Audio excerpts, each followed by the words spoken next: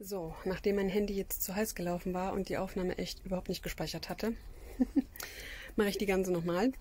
Und zwar hatte ich eigentlich was gerade Lustiges für euch zwischendurch. Äh, ja, ich habe nämlich heute meine neuen Kontaktlinsen bekommen und wollte die gleich ausprobieren. Aber ich war Bewegungselfmeter. ich habe die rausgenommen aus der Packung, wollte die einsetzen und schwupp fiel es mir natürlich ins Waschbecken und habe noch so gut gezielt, dass es auch gleich in den Abfluss landete.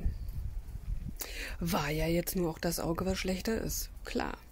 Somit habe ich jetzt nur eine Seite drin und äh, das fühlt sich natürlich jetzt etwas seltsam an.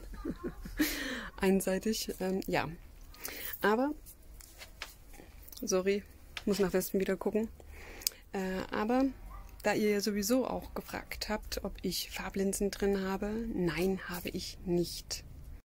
Wenn meine Augenfarben teilweise auf Bildern unterschiedlich wirken und aussehen, das ist schon korrekt, weil ich habe grünbraune Augen, die aber je nach Emotion und auch Sonnenlicht variieren. Also mal sind sie wirklich richtig braun und mal richtig extrem grün.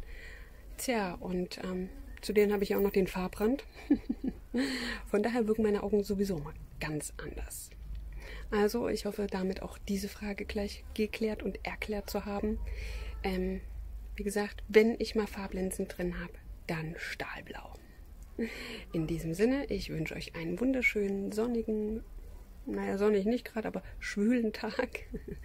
Lasst es euch gut gehen, passt auf euch auf und ich mache mal aus, weil mein Handy ist eh schon wieder überhitzt. Bye, bye.